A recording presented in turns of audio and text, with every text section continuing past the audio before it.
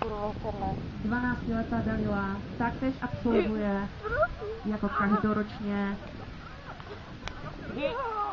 tuto překážkovou trať. Dalila to je taková trošku náladová dáma.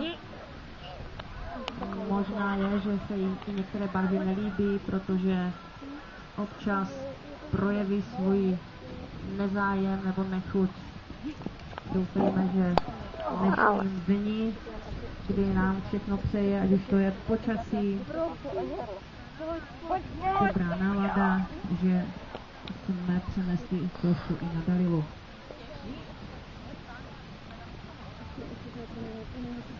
Ja!